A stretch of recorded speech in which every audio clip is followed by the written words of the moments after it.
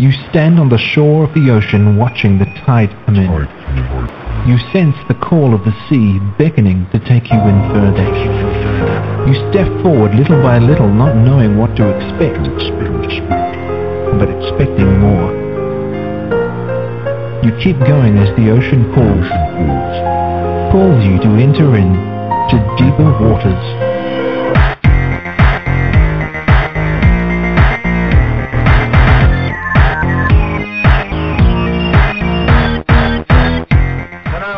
And welcome to the Deeper Waters podcast. I am Nick Peters, your host, seeking to bring you the very best in Christian scholarship and apologetics. And today we got a very special Easter show. In fact, when I was checking over my Facebook memories this morning, I realized I interviewed this person exactly three years ago today. It was a much briefer one, but now he's back again, all to talk about Easter and the resurrection of Jesus. And in fact, when I contacted him, he said, you know what? I'm going to study that topic just for you.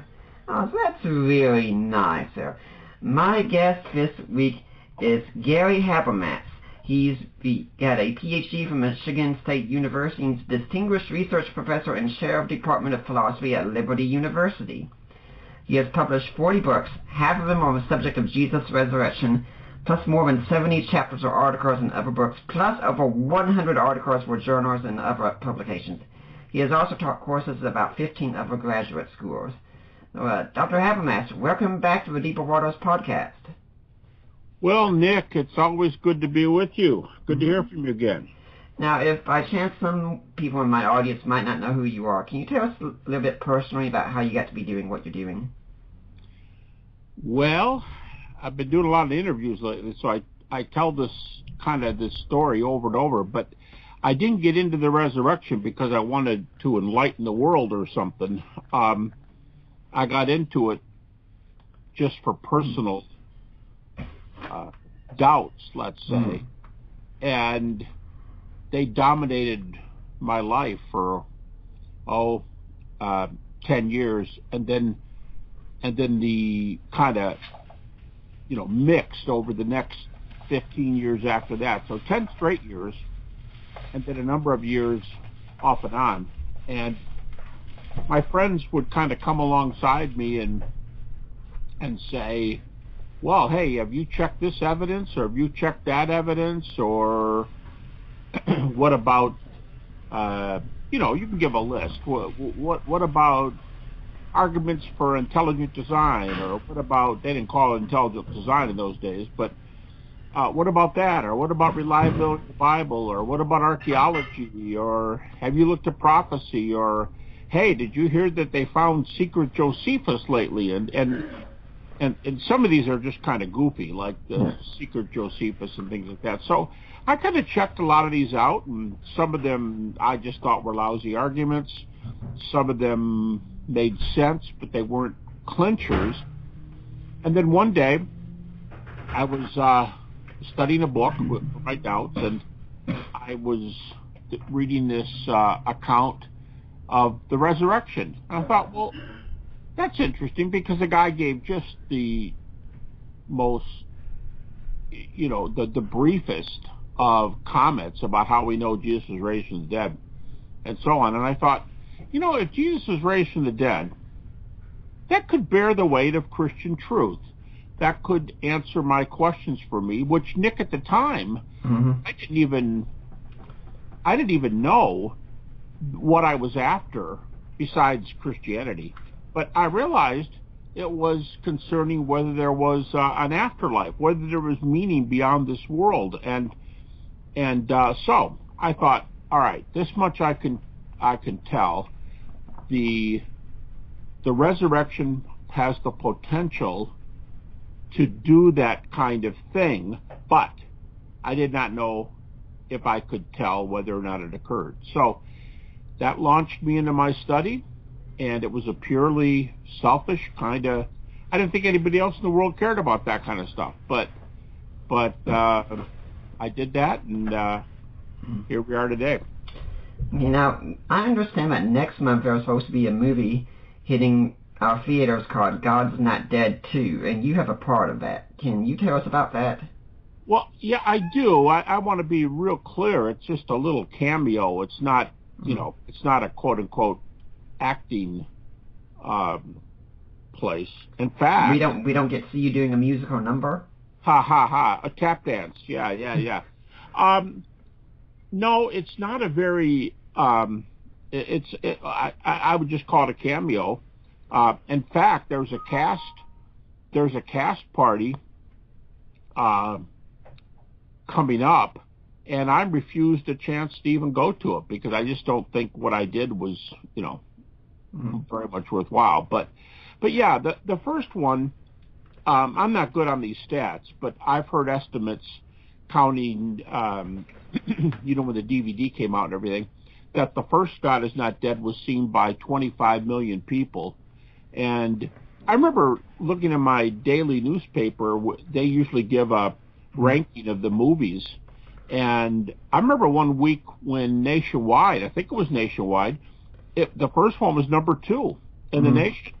And just recently, our same paper gave a preview of what's coming this spring and how many you know blockbusters there are, and and pretty much just highlighted the big ones.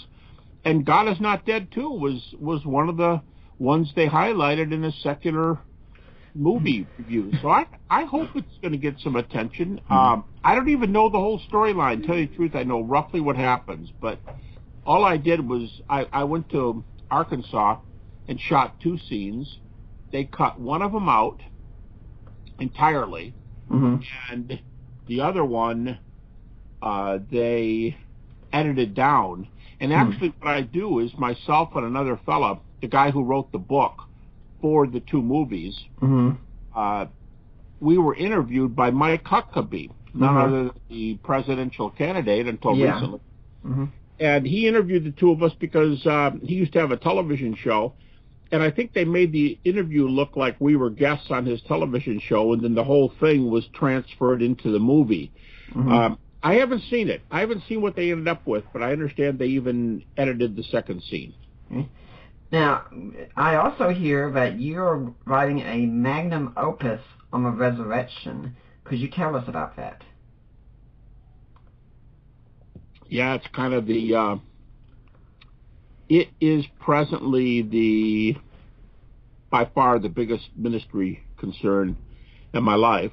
Um, Michael Licona had been pushing me for oh probably two or three years hmm start writing this, and I just, I just didn't.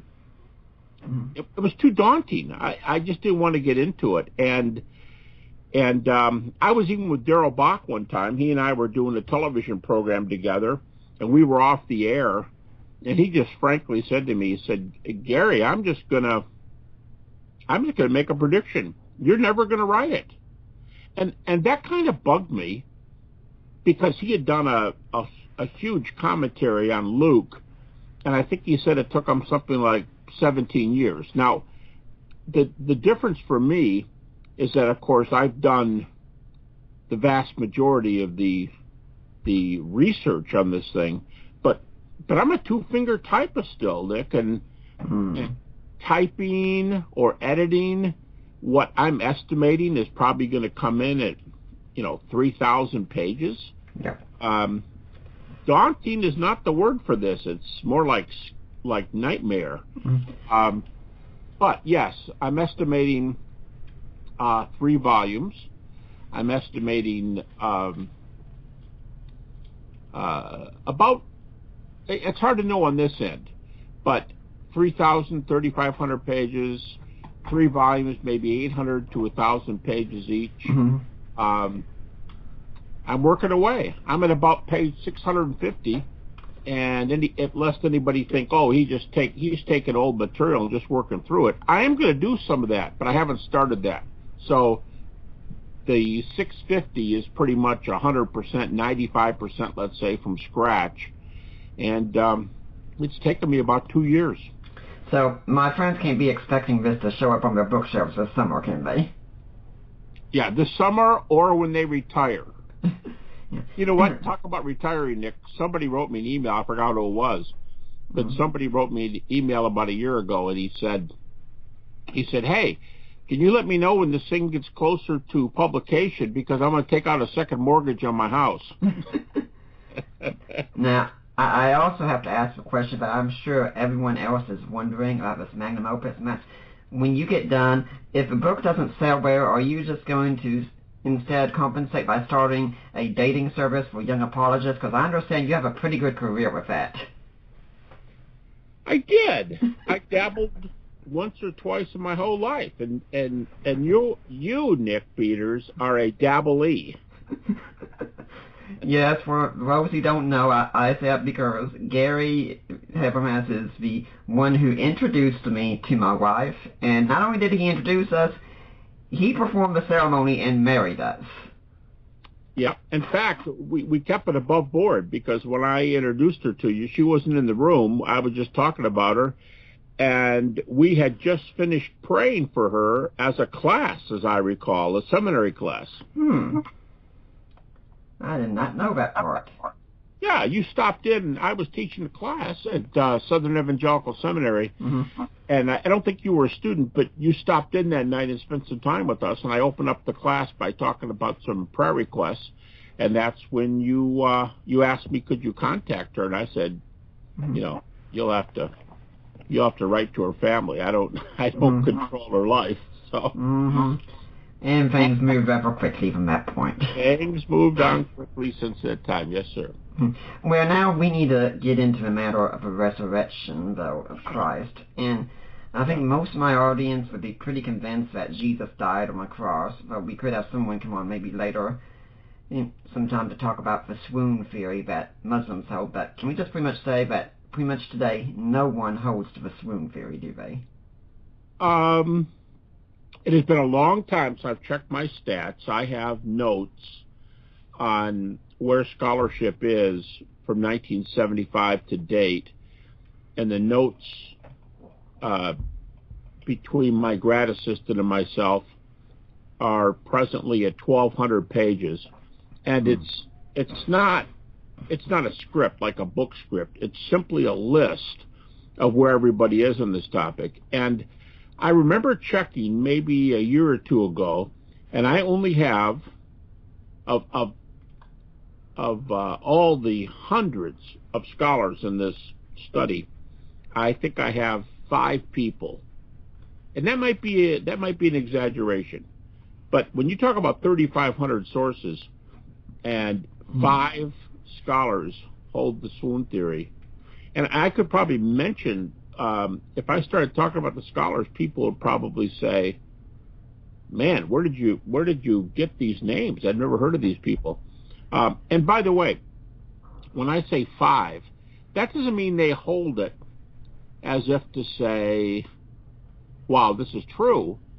There, some of them are skeptics that just put it out there and say, "Hey, why couldn't this be true?" But it's not necessarily their view. Okay. So and even so, we get up to, like I said, a half dozen. So I think we need to say something about scholars also. A lot of people come in here and say, well, most scholars in this field are Christians, so of course we're going to hold to this stuff. Yeah. Yeah, they do say that, and, and you're right, because I know you're a blog uh, and website searcher, mm-hmm. and I don't do that stuff, but but um, I hear that. I mean, even I, who don't spend my time doing that, have many times the objection that I hear. It goes like this: um, Yeah, but look, these guys might be liberal Christians, but for crying out loud, they're Christians. So, mm-hmm. you know, uh, how can you be a Christian and not believe X, Y, Z? So therefore, no surprise, they don't believe X, Y, Z. Well, Nick, it's funny you should mention that. Without without any um, you know thought of uh, maybe you asking me that or something like that. I was walking around my house just like ten days ago, and I thought, hey, what about that objection? So I got this little sheet of paper, and to tell you the honest truth, I don't know where it is. mm-hmm. I don't know which pile of papers it's in.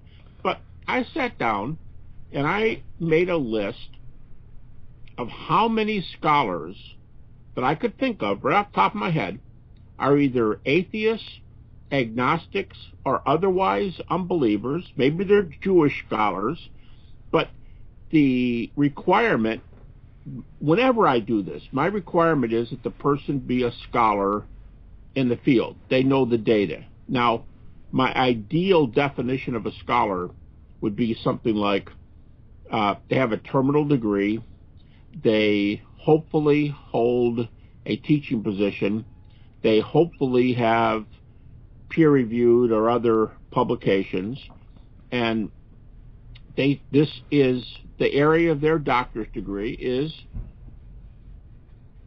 apropos to study the resurrection. For example, I don't I don't begrudge Richard Carrier to be a member of this group because he has a relevant PhD mm-hmm. uh, in classics or ancient history, if you prefer, and um, that's fine. But there has to be something relevant. The PhD can't be in mechanical engineering, let's say. Mm-hmm. All right, now, so I start scribbling the names. How many do I know who are non-Christians? In other words, they are not people who you could say, well, you know, they're liberal Christians. And I came up, as I recall, the list numbered 25 scholars long. And some of them are incredibly influential today, very influential. And um, to hear that whole list is to realize these guys just don't have uh, a, a Christian or a liberal Christian axe to grind. They're not Christians at all. And they will tell you. Some of them just say, I mean, I know a fair number of these people. Some of them will just say, I'm not a person of faith. I don't have any kind of faith. I don't believe. I'm an agnostic. Yeah. Uh, you know, so yeah, the uh, the objection doesn't work by a mile. Yeah, that, that sounds like just a 25 out of you know hundreds or thousands that you're looking for. That that what, Nick? That sounds like just. it sounds like you've got hundreds or thousands of scholars that you're going through, and you're saying, "I found 25 who aren't Christians." Yeah, are you saying that's not a large number, or it is a surprisingly large number? It, it a lot of skeptics ever say, well, that's not a large number. You still got the majority of scholars in this field who are Christians and who believe that Jesus rose physically from the dead. Well, I'm sure you want to talk about this. You know, I I'm I kind of invented the uh, minimal facts argument when I was doing my doctoral dissertation at Michigan State back in the 70s, and I mm-hmm. guess if that were your objection, I would make a minimal facts sort of move, and I would say, okay, Nick, well, for, first of all, 25 isn't the number. 25 is how many names I wrote down in five minutes. Mm-hmm. Um, but if if you said if your objection is not yours, but you know what I mean, if your objection is, yeah, 25 is not very many out of 3,500, I would say, yeah, you're really right. But, you know, Nick, if you want to talk about this, since all of them are scholars in relevant fields, and the, and I think all of them have publications, relevant publications, mm-hmm. why don't we just talk about the 25 and why they hold facts X, Y, and Z, and why they, you know, think that this theory is true, in spite of the fact that they're not believers. So, in other words, if you wanted to shorten the database and only talk about 25 or maybe 50 or 70 scholars, yeah, let's do it. You still have to answer why mm-hmm. these guys are all scholars. Most of them pretty very well known, published, don't hold any views, certainly not Christianity, but they hold these facts relative to the resurrection. Now I think we've got a lot better point. Okay, well, to get to some Christian scholars also, a lot of people will say, well, we can't trust Christian scholarship because, you know, these people teach at seminaries. They have statements of faith that they have to hold to, and if they go against those statements of faith when they lose their livelihood, so their, their research is, you know, it's set before they even begin. Yeah, and Nick, I I, I love that objection. I have a have a recent, uh, uh, I guess you could say, an encounter. Um, I went through some reading with one of the major journals Mm-hmm. I'll just say it was the Journal for the uh, Study of the Historical Jesus, and um, they did. Uh, uh, they published a number of articles uh, not too many years ago on the subject: Can evangelicals contribute anything to historical Jesus studies in light of their statements of faith and whatnot? And I guess I have at least two major responses. My first one would be, uh, let, us take um, a, a an evangelical scholar who goes away to to England to Scotland or something and does a PhD in New Testament at Aberdeen or Edinburgh or St. Mm. Andrews University or whatever, and they've got a degree in New Testament. I, you know, there's any number of people like that. They have a PhD. Now, the skeptic who's posing this argument, they frequently, because I have them write emails to me, and they'll say, well, you've only got 16 guys mentioned holding view X.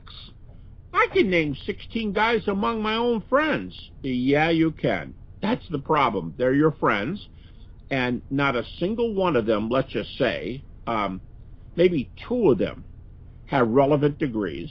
And then, and then you know what happens? They start shortening the list of what qualifies as a scholar. They shorten it. And they'll yeah. say, well, yeah, this guy's a mechanical engineer, but he's been studying the resurrection for 10 years.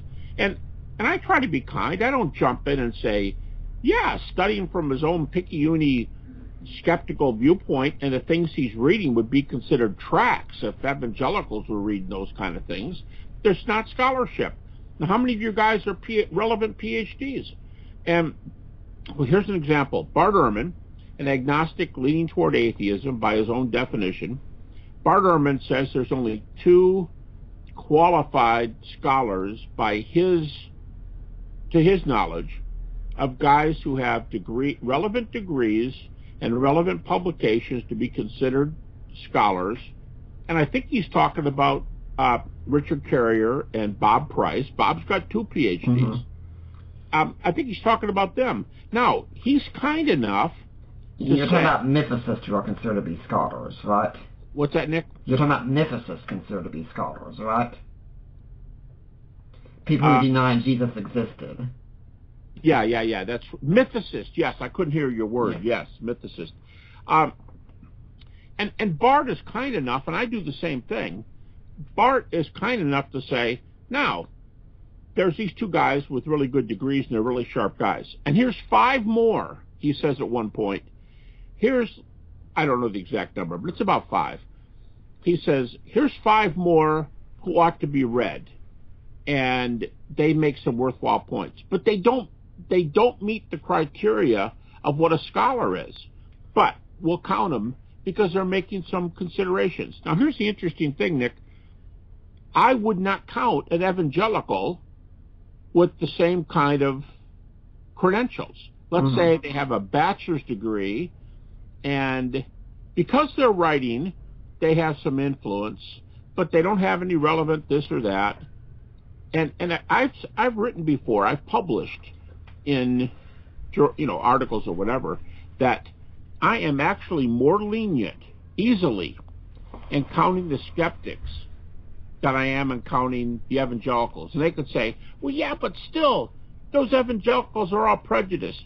And that gets me my, to my second point. My, my first point is, what are you going to do when the evangelicals in a relevant field with a PhD with publications and and the people who peer reviewed them in that case they said they were good publications and the guy who approved it was for a non-evangelical journal now, now how can you not count them as scholars okay that's the one objection the second one is in a way it's a continuation I am less stringent on the skeptics than I am on the evangelicals. Mm-hmm. The second objection is it's an epistemic problem, and it goes like this. So I'm prejudiced because I'm a believer, but you're not prejudiced because you're an unbeliever. Let's just say the person I'm talking to is an atheist. Yeah. They have this sad mistaken view that no, virtually nobody but, I'll just say nobody but them agrees with. They're the only ones mm-hmm. that I know of. And their objection is, no, listen to what I'm saying. Theism is a noun that describes a view, and theist is a person who holds to that view. Mm-hmm. I am an atheist, which simply means I don't hold the view. So no, I don't hold the worldview. I'm telling you what I don't hold. And it's such a silly objection. I was in a debate with a guy one time, and I don't usually, you know, you know, give give what I would consider to be kind of low blows. But this guy kept saying that. He kept saying, "I'm an atheist. I simply don't agree with what you believe, but I don't have a worldview. You do." And I finally told him, I said, "Have you ever?" He was a classic scholar, and it wasn't Richard Carrier. Mm-hmm. But I said, I said, "Have you ever taken a course in philosophy?" I said, "You know what? You need one course in philosophy. Probably an intro course would do it, which is kind of a low blow. But I said, probably an intro uh, intro course would do it. But nobody's walking around on this earth who doesn't have a look at the world through a certain color of glasses. We all have spectacles that are yellow or pink or blue. That's through which we see the world. So for a, for a blue spectacle people, the world looks blue, and for yellow, they look it looks yellow, etc., etc. Um, we all have our angle, and to give me this baloney about you're an atheist, therefore you're just not me, and you don't have a worldview is silliness. You say the things you say because you don't want it to be true. You know, it was Antony Flew, Nick, who said to me years ago when he was an atheist, I mean, way before his quote unquote conversion. This is when we um, dialogued for the first time at Liberty in 1985. And, and I said, I said to him, do you think religion is the opiate of the people? Um, or do you think it's a, the grand illusion, you know, to like people like Marx or Freud? And he said, no, I don't think that at all. Um, he said, he said, here's the way I look at it. He said, you believe because you want to believe. I don't believe because I don't want to believe.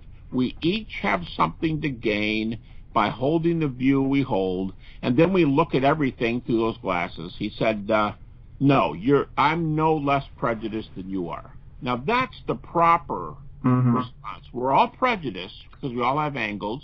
You know, all I got to do is ask you, uh, Nick, what nationality are you?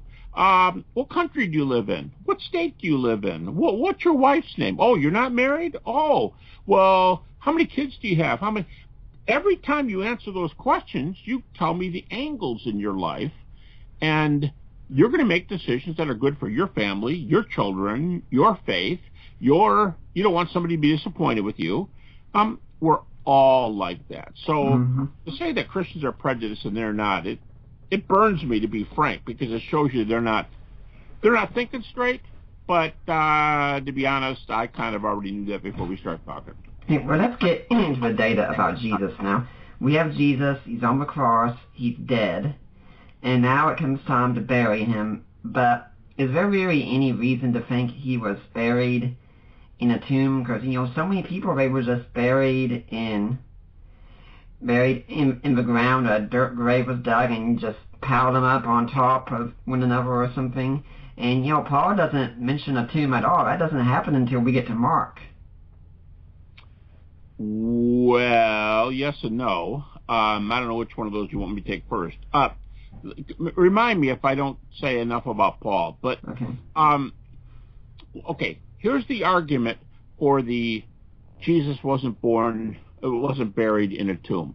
Um, I would say, and it's got it's got a little bit of weight. The average Jews in the first century were not born in um, I said born again. Average Jews are not buried in tombs. Mm-hmm. Tombs, limestone tombs, soft soft rock tombs, were pretty much relegated for the rich, and they were pretty much relegated to the Jerusalem area. The most common Jewish burial was in a rectangular hole in the ground. Mhm. Now, I mean, neatly, they treated bodies respectfully, but nonetheless, the dead body goes in the ground, and that's that. Um, if you're in a rock tomb, you could be reburied a year later um, in a so-called bone box, a a box made out of of uh, stone with a lid, and they often scratch the name of the person or put designs on it and so on. So It is true you're talking about a minority of people that get buried in individual graves. Mm-hmm. Uh, and you're talking about a minority of geographical places, mostly Jerusalem. Uh, but having said that, oh, by the way, complicate that with another argument for the other side. Jesus was crucified, and Mhm. crucifixion was considered a curse. All you got to do is read Deuteronomy on that, and it's a curse. Cursed is the man who hangs on a tree, and crucifixion we don't think of it as hanging, but it is hanging. And um, all right, so you're cursed. So could they have thrown your body into a pit? That's just about. There's not a whole lot more that could be said for the view that, not that we have evidence that Jesus was buried somewhere else but in a tomb, but that there's a good chance he was because that's what happened to people whose bodies weren't claimed. All right, uh, several issues with um, with this. Uh, first of all, even Josephus tells us that when people, victims, Jewish victims of capital punishment, they were buried still because of the Jewish respect for bodies. The people that got thrown on the trash heaps were people whose bodies weren't claimed. If you wanted to come forward and claim the body, just like just like Scripture says, that um, two men, Joseph and then uh, John mentions Nicodemus, decided to uh, make a plea for the body, and they were granted uh, that right. Mm-hmm. Um, they could be they could be given the body because that's the way the Jews are. First of all, Pilate was reckless in how he treated people. Nonetheless, he he was he had been chewed out by the emperor for doing silly things that would incite the Jews to riot, and people just wanted to let them live and let live. He he didn't have an, a reason not to give the body, and we're told that that Jews had the right to claim the bodies even of of quote unquote criminals, especially when their family half the time didn't believe they were criminal. Um, so that that's one exception to this that they could they could claim the body, and it's hardly imaginable that Jesus could walk the countryside, have his reputation, and be thrown on a grave because nobody wanted to claim the body because they were embarrassed. I mean that, that's just so far away. Now, when you move to the to the tomb, the issue is that while he could have been buried in a rectangular hole, while mm-hmm. in crazy circumstances he may have been thrown on a pile, we don't want the body to just rot and nobody's claiming this body, so what do we do with it? That wouldn't be Jesus, but but um, while those are possible positions, the all the evidence we have says he was buried in a separate tomb. Now, th- this would take a while, Nick, and of course you, you, you decide whether you want to go into this or not. But but when skeptics look, skeptical scholars, that's the key. Whenever I say skeptics, I mean scholars. Mm-hmm. Um, when they look at the Gospels, they look at independent sources. And here's the way the Christian thinks. Oh, well, Matthew, Mark, Luke, and John all say Jesus was buried in a tomb, so that's four. Okay. For the most part, as I tell my grad students, if it's in Mark, it's Mark. That's a duh, you know. But if it's in Matthew, that's Mark. If it's Luke, that's Mark. If they are borrowing from Mark and they, they look to use Mark as one of their major sources. Okay, so Matthew, Mark, and Luke could be counted as one. All right, then John is a two count because John is a separate source. Um, now, there are sections in Luke and Mark that are, uh, Luke and uh, Matthew, that are not in Mark. Mm-hmm. And we call the ones in Matthew M and the ones in Luke L. So if you put them all together, we have five gospel sources according to critical scholars. Um, Mark M L, John, and then a, a, a sayings uh, source, which nobody's ever found, and maybe it's not even written down. Who knows? But it's a list of sayings of Jesus, and that's just called Q. Mm-hmm. That's five. The Gospels, just right off right off the top of uh, anyone's uh, research charts here, the Gospels right away are not one source, There are at least two. You have Matthew, Mark, and Luke, and then John. That's two. But you also have material in Matthew that's M, and mm-hmm. material in Luke that's L. And so scholars are not agreed as to how many different sources they have, but of five possible sources, the number of tomb stories in the five and the four gospels, the number is put at of the five sources, the number is put at three or four independent sources. So mm-hmm. a, a critic could say, well, that's in the Bible. Well, I shouldn't say, yeah, a critic, not a critical scholar, but a critic could say, that's in the Bible. But uh, the, the issue with that is, uh, yeah, first of all, there are facts that are in the Bible. They're still facts. In fact, ask Bart Ehrman. We, we should talk about this, Nick, but if uh, when when if if you think you're stumping an evangelical scholar by saying you're using verses, you're just showing that you're not a critical scholar. Because if you talk to a Maurice Casey or a Bart Ehrman or, or James a, Crossley, James Crossley, if you talk to these people, Gert Ludemann, any number of these people, Paula Fredriksen, if you talk to these people, if you don't cite the New Testament, they will. They will. Why do they cite the New Testament? Well, of course, they're only going to cite, and, and, the and the critic says, "Oh, that's because they're liberal Christians." No, I cited people who are Jewish or agnostic scholars. The reason they cite verses is because they know which ones are critically accepted and critically evidenced, and those which are not. And so they're going to they're only going to allow. They don't cite the New Testament as being inspired. They cite the New Testament as being critically ascertained, the part mm-hmm. that's ascertained. And so it's just false to say, yeah, well, I have Jewish customs on my side and you only have the Gospels. Well, that, that's like saying, uh, I have general evidence and you have specific evidence. And specific evidence usually trumps general evidence. Mm-hmm. So, anyway, that's just a little introduction to this. But basically, that's why we have the, the best uh, conclusion is to say that Jesus was buried in a rock tomb. It's the only the only specific evidence. Now I ask you to remind me about Paul. Yeah. Uh, in Acts chapter 13, there are there are a number of little creedal passages. We can talk about this later too, if you want. Mm-hmm. Um, which is probably the most outstanding evidence in the New Testament. M- material, and I will almost always cite critical scholars. I don't cite evangelicals to make my conclusions. Um, and Bart Ehrman puts the majority, or at least a number of these early creedal passages, in the 30 to 32 year range. So, he, you know, basically, another way to say this is these are pre-Pauline sources. And pre-Pauline sources um, are in this case, prior to Paul's conversion. If you put Paul's conversion at plus two, that is two years after the cross, these things, these sources are in that two-year gap. Anyway, there's a number of these in the book of Acts. They're called mm-hmm. sermon summaries.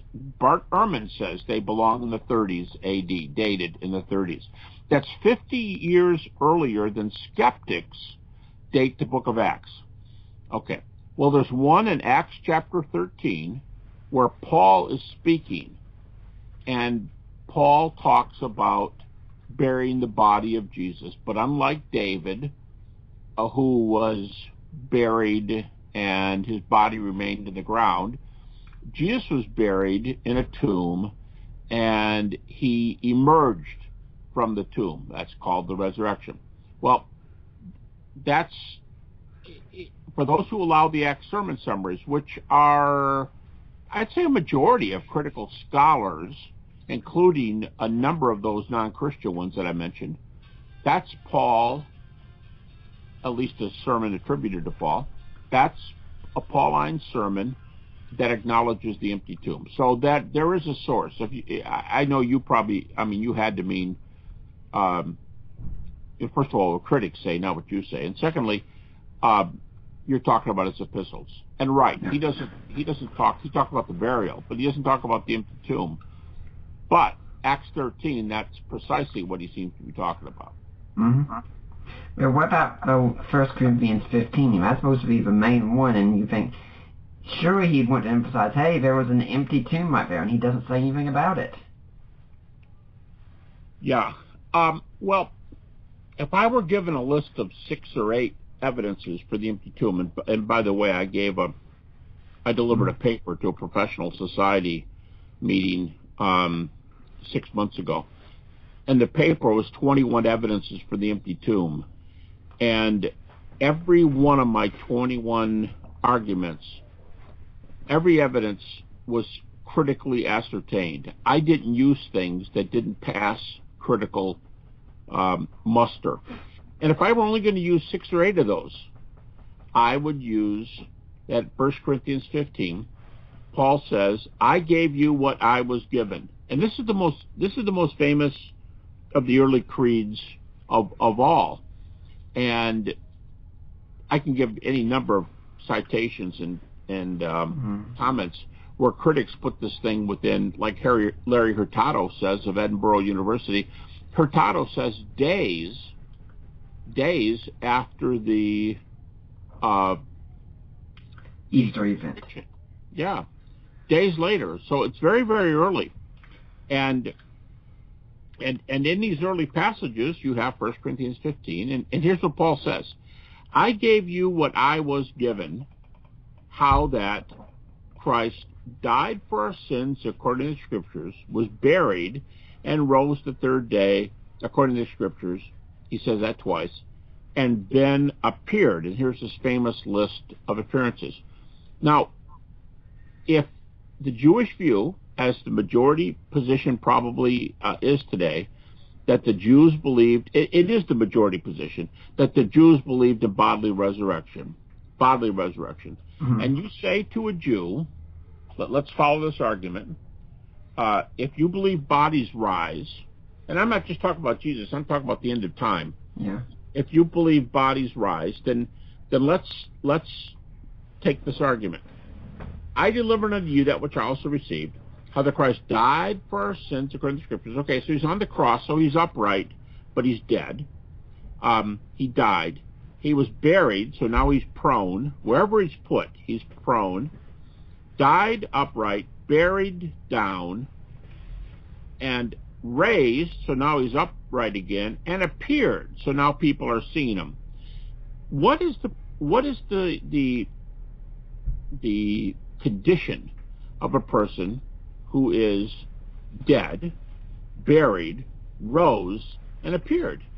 If your view is bodily resurrection, not that the spirit rises and has nice little glorified light light version appearances to people, you know, except for Paul on the road to Damascus, and that's years later, a couple years later, except for Paul, light, light is not associated with the actual appearances of Jesus. It's just a normal man walking into a room, or as I often say, um, they knew they went to his funeral, but they saw him buying a loaf of bread in the supermarket uh, three days later. I mean, they were very mundane events. But anyway, back to the it was the body that's raised. If you have a position of someone who's dead, buried, rose, and appeared, guess what? Something happened to the body. Mm-hmm. That's the clear implication. So it seems like Paul acknowledges the empty tomb. You say, well, then why did he talk about it? You know, maybe the empty tomb wasn't a great argument to Paul. We all, we all um, you know, rate arguments differently. And if Lee Strobel tells the the story in his his uh, case for Christ of a little girl who had died in the 60s, I think maybe during the race riots or something, and the family got permission to exhume the body and to well at least to move it, and they dug up the casket and they opened up the casket and there was no body there. Well, guess what? the family didn't say, our little darling girl has been raised from the dead. Their first thought was, you see that? They're messing with us again, and our little girl isn't even in the grave that we thought they put her in. once again, people are playing fast and loose with our rights. Well, Lee Strobel makes a great point. The the the first thought it, for empty tomb might be a question mark, but the first thought is not, oh, huh, cool, this person's been raised from the dead. That's not your first thought. And so because there are other circumstances, Paul very much apparently thought, and I agree with him, that the evidences are much better evidence than the tomb. By the way, this is just an aside footnote. Um, writing material in those days, papyri, very expensive. Mm-hmm. Very expensive. Most notes, some New Testament scholars make the point that, man, the New Testament epistles, not to mention the Gospels and Acts, the New Testament epistles are really long because most of the notes in those days were little tiny short deals because it's hard to write, it's hard to keep dipping it, it's hard to get the papyri and open up these plants and stick them together. It costs a lot of money. So the New Testament is a very, for the most part, it's a very succinct work. Mm-hmm. And Paul just could have thought that the appearances are much better evidences, and I agree with him. You know, Reeves, Richards, and Capes in their book on rediscovering Paul say that to write First Corinthians would cost about twenty-one hundred dollars today. Is that right? Mm-hmm. That's really interesting. Twenty-one hundred dollars would be the equivalent cost today of uh, enough papyri pages stuck together to make the chapters of First Corinthians, right? Mm-hmm. That's, that's remarkable. Well, let's get to into that tomb, though. I mean, let's suppose it was found empty, which the majority seem to accept. I mean, isn't there any number of things that could happen? I mean, couldn't grave robbers have stolen a body? I mean, most people don't think there were guards there, so anything could have happened between Friday and Sunday. That's right. Now, as I said, your first thought, if you were if you were a family member or a believer, yeah, your first thought might be, "Whoa, I wonder." That could be your first thought, chances are reality would set in, and you'd go, "What if? What if? What if?" Now, Nick, just to show the force of this "what if" thing, there are, let's say, a half dozen major natural theories that have been proposed as possible explanations for what happened to the body that don't involve crucifixion. The interesting thing is that the the major theories are all found in the Gospels. They're all there. 5 Mhm. major what ifs.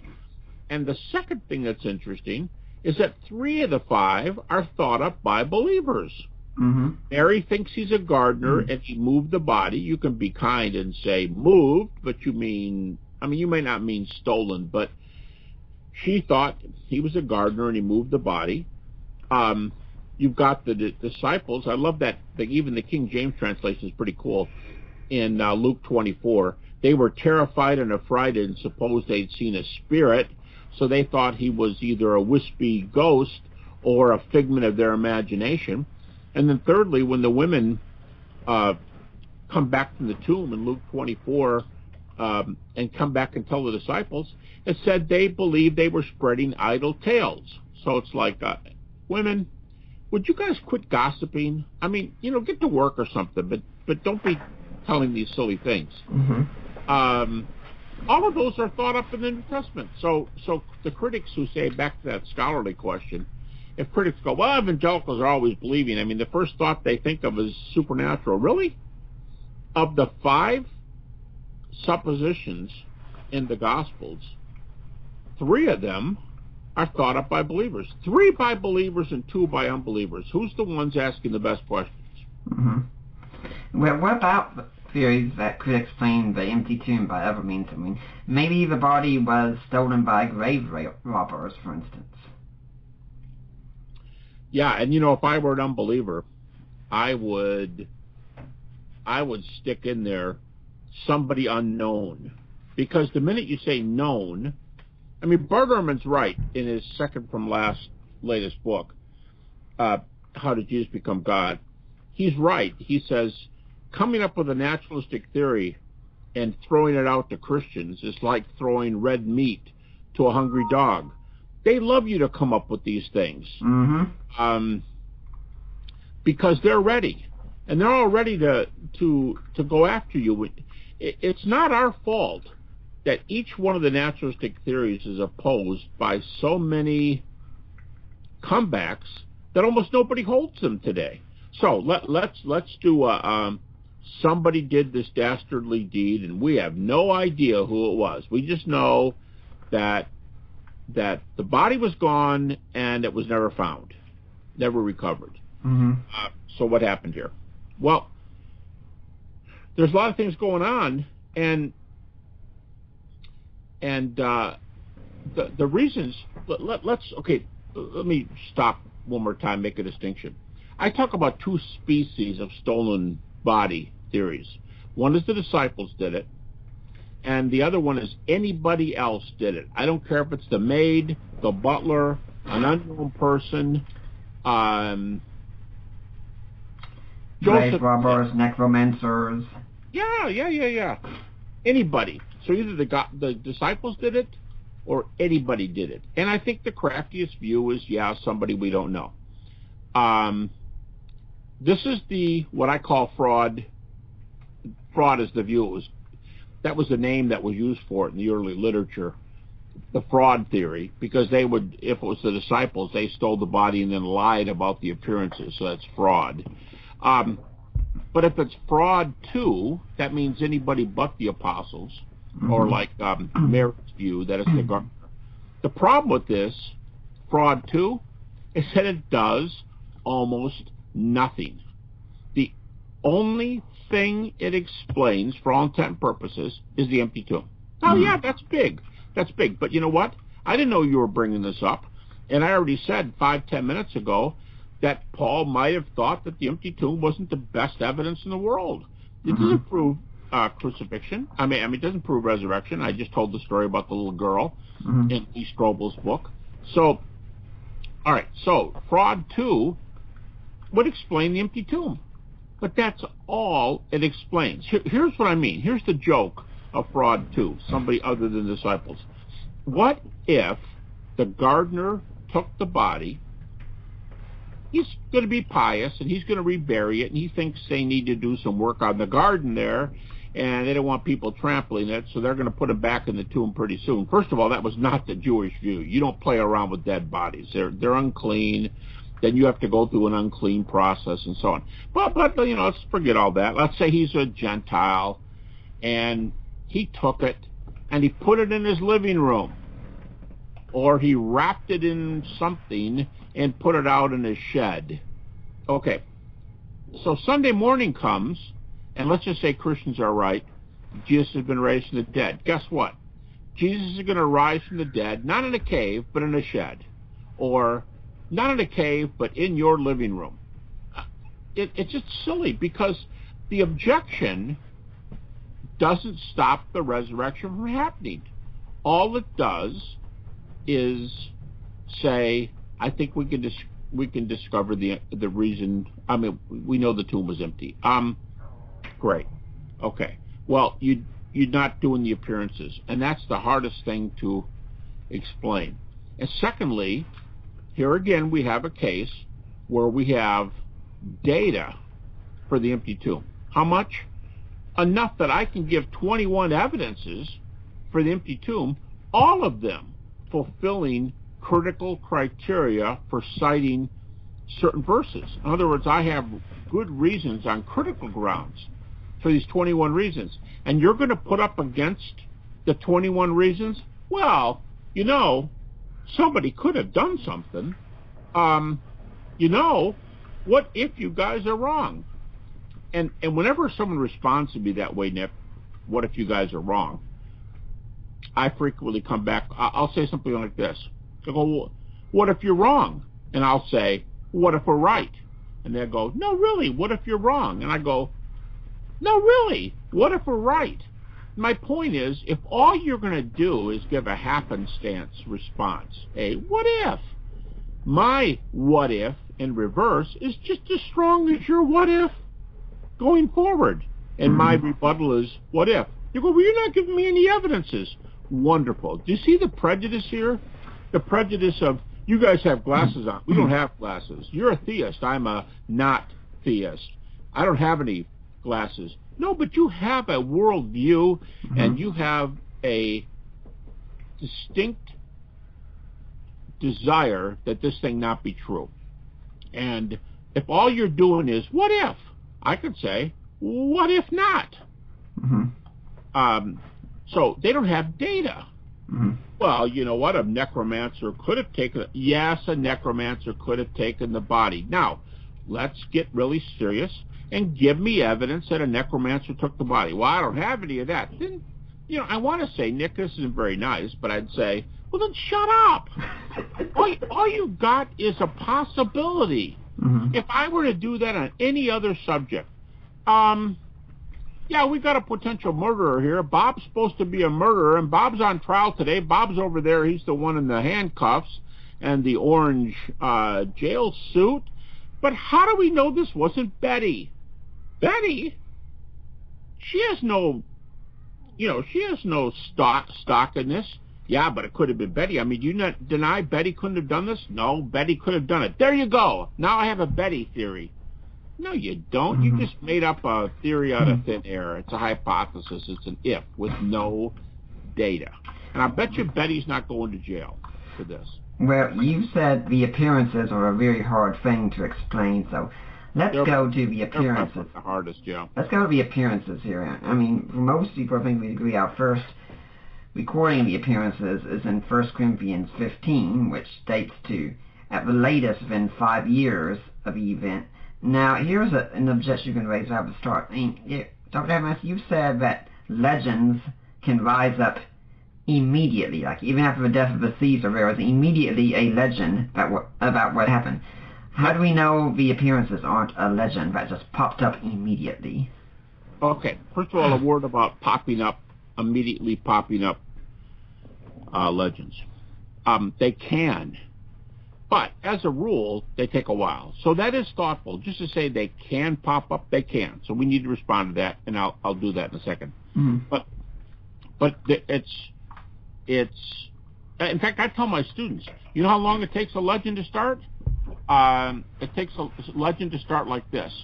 No, Bob didn't kill that person. Betty did. Whoops. Now we have, you know, gossip, or now we have an idle tale, to quote Luke 24 uh, going around. All right, so how do we know it wasn't? The, the latest research from incredible scholars like uh, Larry Hurtado, recently retired from Edinburgh, Richard Bauckham from Cambridge, uh, James D.G. Dunn, recently retired from Durham, Tom Wright, Mike Licona, uh, many others. Recent research has shown that this material comes out of the gate, I like to say it that way, coming out of the gate in 30 AD, it did not take 70 years for people to say, you know what? I think he was the Son of God. You know what?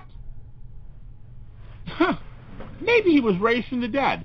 It did not take 70 years. Now, you might think I'm just making light of this, but a very popular view uh, Raymond Brown, the dean of New Testament scholars, who who died about 20 years ago, Raymond Brown said that if Jesus would have come back, if he would have returned about 100 A.D.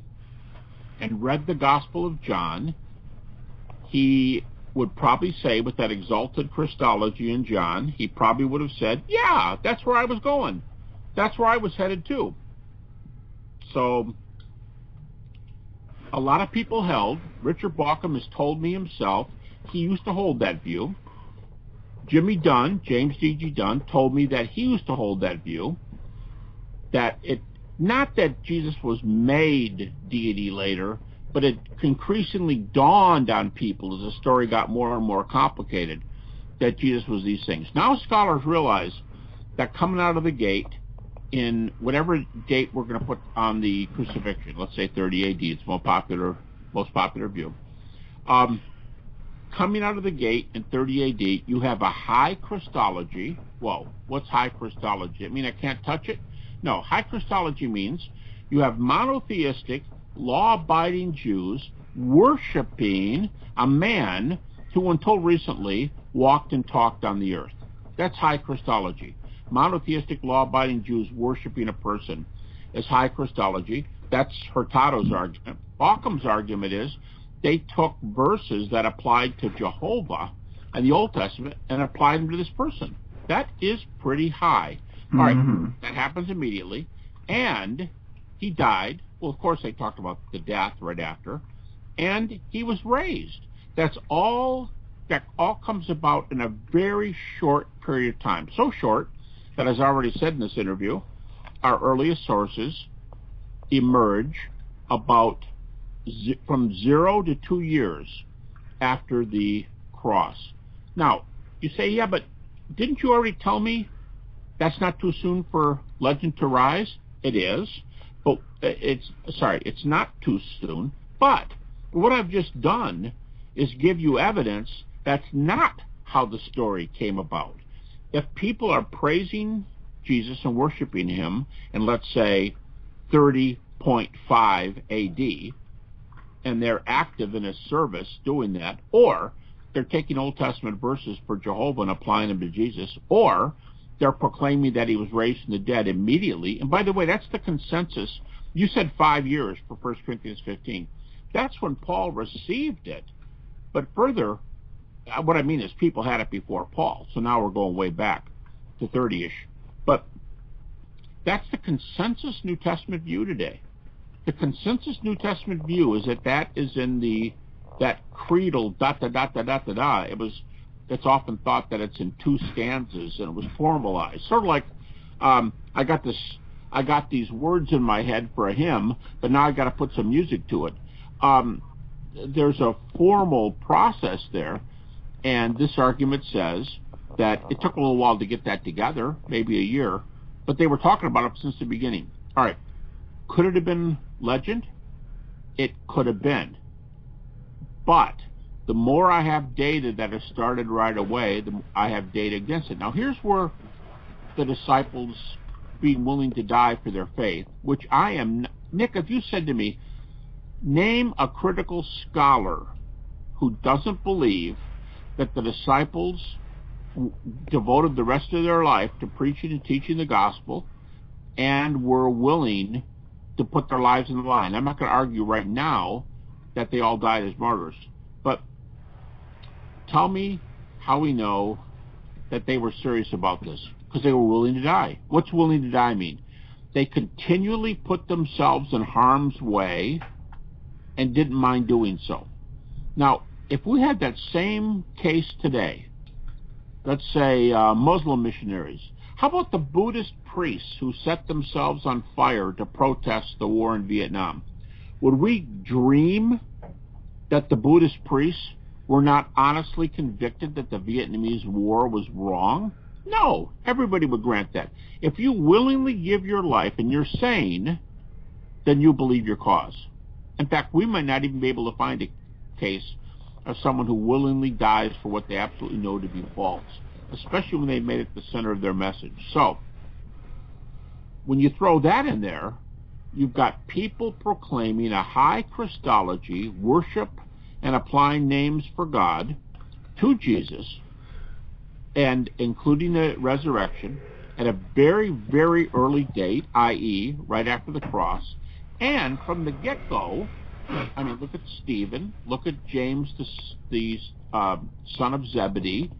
Right from the beginning, people were willing to give their life and did. Now you're talking, you have to conclude these people really believe Jesus was raised. And I think Wolfhart Pannenberg says it well. If these people really believe Jesus was raised from the dead, you can say they, you can't say they were lying because I said really believed. You can say they were mistaken, but you can't say it was a legend that they heard that some other religious founder who never even lived uh, could have been, you know, come out of the tomb. I don't even know what story you'd use for that. But if you said, oh, yeah, well, Jesus isn't worse than them, he must have come out of the grave too. No, they were willing to die for the proclamation, not this, you know, sort of Jesus was raised, Jesus was alive type thing. It's a much more concrete claim. I saw him. Nick, I saw you last night buying a loaf of bread in the market. Um, mm-hmm. You know, it's a very concrete claim. Yes, I'm going to claim you're alive, but I'm claiming something much more specific. I saw you buy a loaf of bread. That's the level of what they were claiming, and they're willing to die for that. So take some other false view if you want to, but legend, the fact that they borrowed the story, doesn't work with that kind of conviction and willingness to die for what they believe to be true.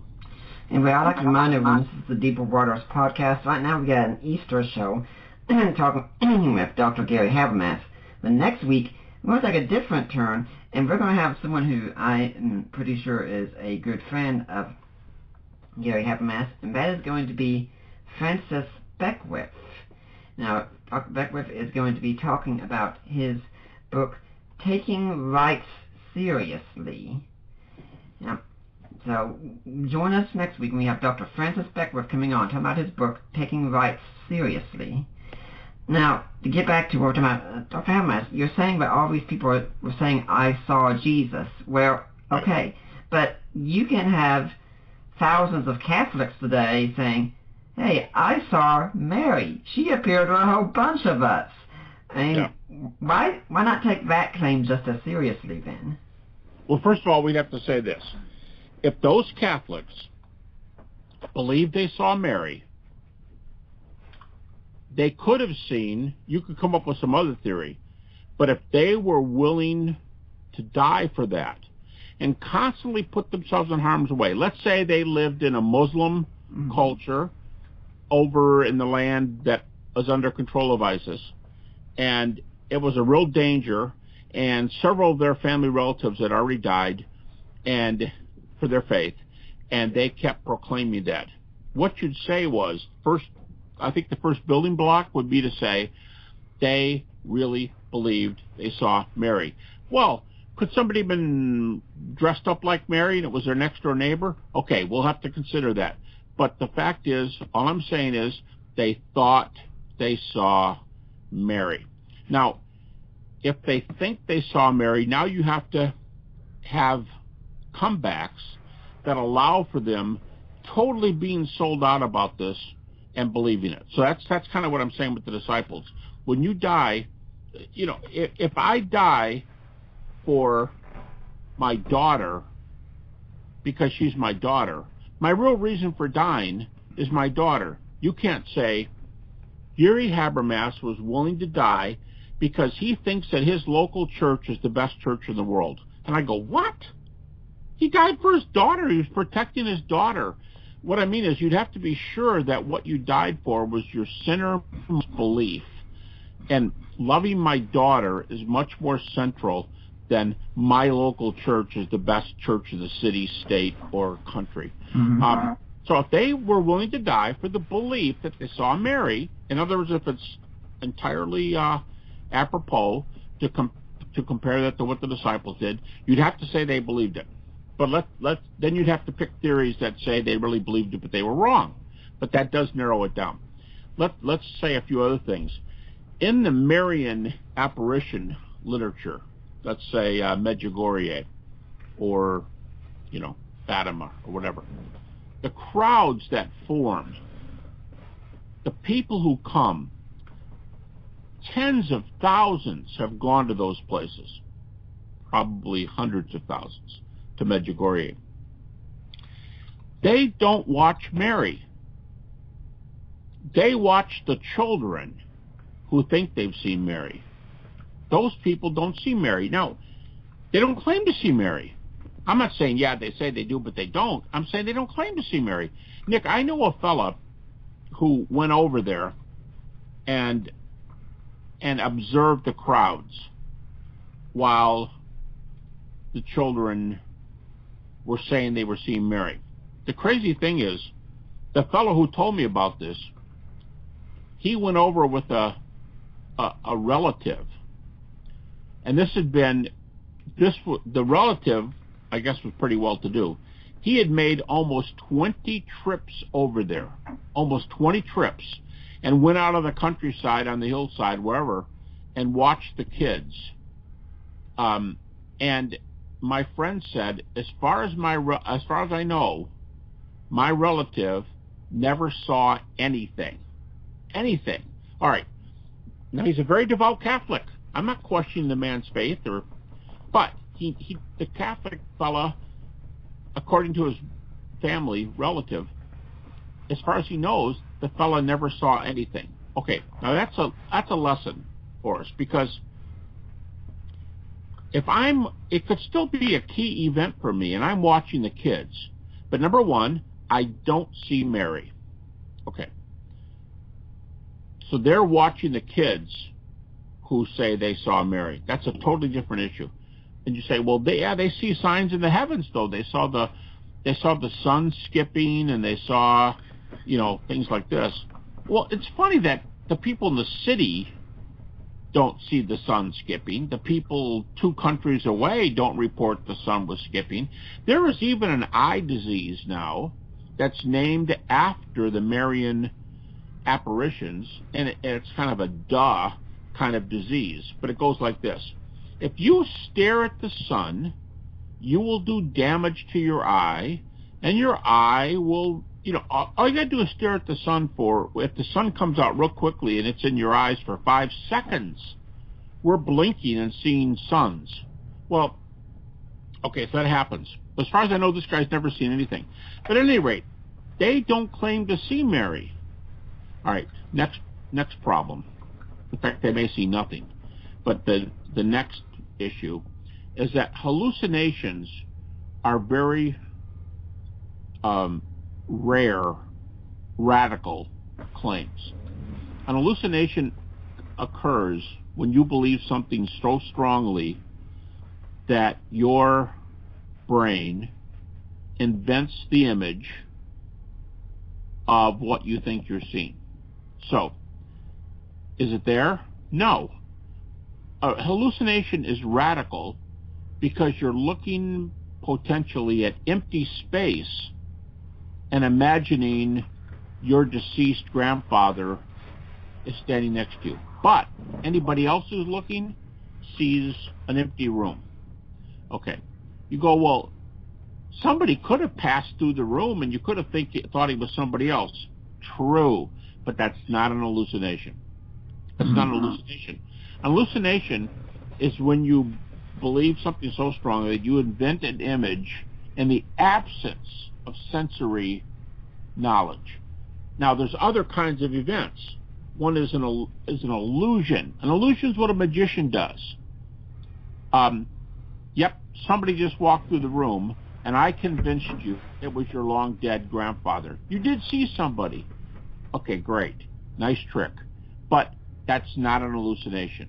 And the third category is a delusion. D-E, delusion, a delusion is a psychiatric or psychological state where, you know, you could be taking legal or illegal drugs, or you, your brain could be in a state where we say you're mentally ill, and you are seeing things in your mind that nobody else is going to see. All right, so a delusion is brain problems. An illusion is you see something and take it to be somebody else. You see a man walking around a hundred feet away from you and think it's a woman. Like a magic uh, trick. Sorry. Like a magic trick. Yeah. Also. Yeah, it can be. It, we we call magicians. They might even, um, um, you know, correct you and say, "No, I'm not a magician. I'm an illusionist." Mm-hmm. Well, that's called an illusion. So, hallucinations are very rare, and because your brain sees something that nobody else has seen. That's why mass hallucinations are an issue. Nick, I, I have written um, pieces with two fellows, two healthcare professionals. One is a PhD in clinical psychology. Now, clinical psychology is the field. It's not just getting a PhD. It's one of the only fields where you can have a PhD in the field and not be called a blank. Like if you have a PhD in history, it's fair to call you an historian. But if you have a PhD in clinical psychology, I can't call you a clinician. I introduced him that way once, and he told me don't ever do that again until I do my what was it, 2,000 hours. See, a medical doctor can be a resident, but they're still an MD. A clinical psychologist with a PhD, you can call them a psychologist, but they have to do their thousands, a, lot of clinical work. All right, I did I did research with a clinical psychologist, PhD, and more more lately an MD we we did we published on the hallucination theory, especially in that latter case. We published on psychiatric theories of resurrect uh, of resurrections. Both of these men, I don't know how how much their surveys overlapped, but they both did literature searches for any experimental data for uh, for group hallucinations. And they both reported that going back X number of years, I forgot, you know, 25, 50, 100, I don't know, going back X number of years, there's no clinical support, no clinical proof, argument, whatever, that groups see hallucinations. You say, well, 25 people could all see their same hallucination, yeah, theoretically they could. First of all, that'd be extremely rare if they all had one at the same time, it's not a very common concept. 25 would not see them all at one time. Take the people there who I, the example I used with Marian apparitions. Um, chances are they are, they're not going to see 25 hallucinations and secondly, if they do, they're going to see their own. They won't see the same thing. They will not see the same thing. So they could be separate hallucinations, but they're not going to correspond. So this is very rare. And the literature knows no examples, no published examples in the medical or psychiatric or psychological literature. Mm-hmm. So that's pretty bad that's pretty rough. And and again, if this friend of mine's relative, a devout Catholic, can be honest enough to say, as far as my friend knows, I've never seen anything in almost 20 trips. To me, that's an issue. Nick, let me just end with this last thought. What if I told you that in the Gospels, we, whenever Jesus appears in the Gospels, as far as we know, everybody present sees him. If there's 100 people there, all 100 see him. How many people saw Mary? Uh, the little kids, now they were adults later. I mean, kids grow into adults. But they report that they saw Jesus. You know, I understand that not even all the, the, the children present saw him. Maybe one did and one didn't, standing you, right next to each other. You mean Mary, but, not Jesus, right? I'm sorry, Nick. Yeah, Mary. Um, of the 10,000 people who may have come out on any one occasion, what kind of a theory is it, Nick, when 100 out of 100 or 10 out of 10 or 5 out of 5 saw Jesus, but 99% of the people present did not see Mary? Mm-hmm. What kind of a theory is that? Does that make you feel good or does that make you feel bad, badly, that 99% don't see her? That mm-hmm. makes me wonder right away what's going on here. Mm-hmm. We're going to take a little break from our interview format right now, and I'm going to tell you about the uh, important opportunity you can have to donate to Deeper Waters Ministries at this point. See, everything we do is listener supported, and we depend on listeners like you to help. So if you want to donate to Deeper Waters Christian Ministries, and what you need to do is go to our website at deeperwaters.ddns.net. And you'll find a link there, Help Support for Work of Deeper Waters Christian Ministries. You can click that link and you'll get taken to Risen Jesus. Have you gone to the right place? Yes. Yes, you have. Those are my in-laws right there. You make a donation, they will make sure that it goes to us. And that, you know, donation will be tax deductible we get every penny of it, and we certainly appreciate it. We certainly need it. You can also go on Amazon and buy some ebooks that I've released, and those ebooks include things like oh, Defining Inerrancy, or A Creed of the Ages, The Apostles' Creed, and Today's Christian. And you can also support us with jewelry. Yeah, you go to a link on our site and you go to Premier Jewelry there. The code word's love. My friend Lena Klesser handles all that. And let's suppose you want to buy something for the lady in your life. Where whatever you buy for her, 25% of what you purchase, if you her know about it, 25% of it will go to Deeper Waters. So guys, you can get something very good for your ladies, score some bonus points with them, and you'll be supporting a ministry at the same time. I, I really don't know any better way you can get ahead other than that. And if you really like this show, I really encourage you, please go to the iTunes page, leave a positive review for the show. I, I really love reading your reviews. And now let's let's get back. Dr. Habermas, I'd like to ask you, do you have uh, any organization or charity you'd like to see people donate to? Uh, not personally. I don't. Uh, I mean, I, do I think some charities are great? I sure do. I mean, uh, World Help in Lynchburg, Virginia, but but those are just things that I that ministries that we support. Um, there's nothing that anybody could, you know, that I could say what you just said, mm-hmm. or anything would uh, go to this ministry and it would come to me. There's nothing mm-hmm. like this is uh, this is ministry and it's something I like to do, mm-hmm. and uh, it's getting the word out. Mm-hmm. Okay. Well, let's get back to the appearances thing. Now, you're saying you got all these people here who say they saw Jesus. Well, let's look at the biggest one, the 500 claim. I mean, we don't know who these 500 are. We don't have any names, and we don't know what they saw. We don't know if maybe there was a crowd of 10,000 and 500 of them saw Jesus. I mean, how do we know that maybe there were people around who didn't see Jesus, but you're only talking to people who did see him?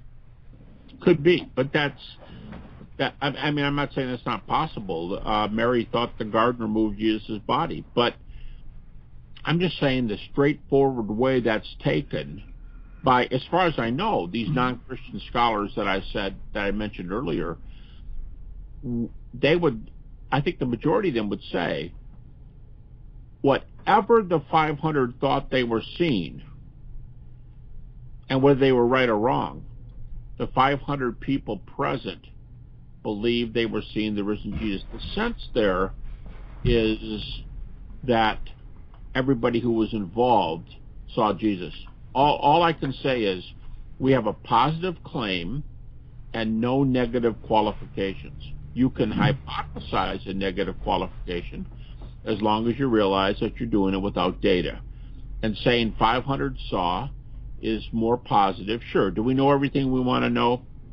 Uh, no. In fact, I don't use the 500 appearance very often, Nick, for reasons like that. I would I would stick with the uh, 12 apostles, mm-hmm. or called all the apostles. There's three groups, three group appearances in 1 Corinthians 15, uh, 3 through 7. There's three three groups and three uh, three individuals if you count Paul's appending his appearance to the end of the list. Um, so all I'm saying is what we have says, uh, no, that's not what they're talking about. Could they be talking about something else? That's, I mean, it's. I'm, I'm not saying it's not possible. I'm just saying we don't have any data for it. Some data is better than no data. Mm-hmm. You know, when you talk about the apostles, I mean, let's suppose we got a dozen people there because there's the apostles and the disciples and such. There's a different number sometimes. But didn't a similar number of people claim to see the golden plates of Joseph Smith? Sure. Well, I don't know how many. We're only given the names of a few people. Um, yeah, let's talk about Joseph Smith.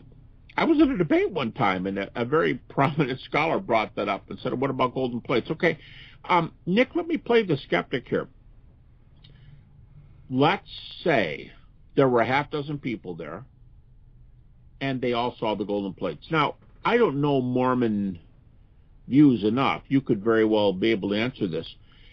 Did they see the golden plates, or did they see what were claimed to be golden plates with like a like a sheet put over top of them, and they saw the sheet?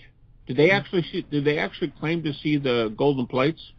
Well, it's interesting because Rob Bowman was on my show, I believe, back on my birthday last year on September 19th, and we talked about this very claim itself, and he said that uh, the sh- plates were kept at his house, but they were kept under a sheet, and his wife Emma was not allowed to look at the plates, and that if some someone would not see the plates unless they had the eyes of faith, Right. as it were. Right. So so basically, it's like the Mary thing, right? We're Mhm. watching people watch what they claim to be plates. The the 99% of the people weren't seeing Mary, and 99% of the people weren't seeing the plates. Is that accurate? Yeah, I get it. It could be from what I remember. Okay. Well, I, I, I would encourage you to go back and listen to the show with Rob Bowman. But I want to hear what you have to say. and and I would I would like to. Uh, I mean, I'll say that too. It's possible. Okay. My first response is maybe they didn't see the plates. Okay. Here's my second response. Let's say they saw the plates. Let's say a half dozen people. Let let's be very positive. A half dozen people are there, and all of them see the plates. What would these things look like? I don't know. Uh, something with scribbling on it that was gold in color. Uh, spray painted, for all I know. Um, okay. Let's just say there are really some things there. If you see some things that look like gold plates, whatever that, you know, whatever that means, would your first thought be, oh, for crying out loud, this must have been what the angel Moroni gave you? Would your first thought be, an angel dropped this off? Or would your thought be, whoa, what's that? Now you might, li- like the tomb's empty, and you might say, wow, maybe he rose. You might say, this could be the plates. But maybe they're not. I'm just saying there I wouldn't I wouldn't have any problem with people seeing golden plates. I don't have an issue. The key is not are there golden plates in the world? The issue is are these plates given passed on by the angel Moroni and these are long lost some kind of inerrant scriptures that talk about Jesus coming to America. The Book of Mormon. There's a huge gap. Number one, if they didn't see the plates, that's a huge objection. But even if you get the plates, how do I know? They certainly, from what we know, if my memory serves me correctly, they certainly weren't allowed to finger them, hold them, and if these are plates are in, you know, you know, what kind of language are they in? You need to have, do you have need special glasses to read the plates? Reformed Egyptian, if I'm remembering correctly. That was that was yeah. That's the that's the book of Abraham. I don't know if the whole book of Mormon's like that. But at any rate, all right. Let's say number one, maybe I don't see the plates at all. Number two, let's say I see the plates, but I have no idea what they are, except to say, wow, those look like golden plates. Number three, good chance I can't read it anyway. Four, none of the above is evidence that these came from the angel Moroni and give the word of God. Nothing follows. Each one of these steps are huge steps. All right, now number five in there. Of I don't have numbers, but my recollection is of the people who claim to have seen the plates. Unless your last name was Smith, uh, you know, family members, didn't all the witnesses either fall away, fall into sin, or get excommunicated from the church? I'd have to listen to Bowman's talk again. I I remember. think something like that is true. Now, if that's true, Nick, think about how devastating that argument would be for Christianity. Mhm. You have 12 apostles, and you have a few here who are the equivalent of Peter, John, James, the brother of Jesus, who's called an apostle later, Paul, the big four. Uh, let's say three of them fall away because their name's not Jesus. They're not of the Jesus family. Um, let's say three of them fall away. Let's say of the 12 people who said they saw Jesus, 10 of them, because the numbers are very high, I think, on this on this problem.